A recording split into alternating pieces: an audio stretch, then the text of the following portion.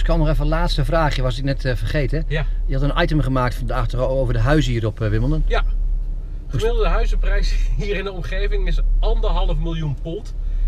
Eh, nou ja, ondanks de brexit is dat nog steeds een hele hoop geld eh, volgens mij. Al is het voor ons nu wat voordeliger. Dat zijn ook eh, de duurste huizen van alle Grand Slam locaties, zeg maar.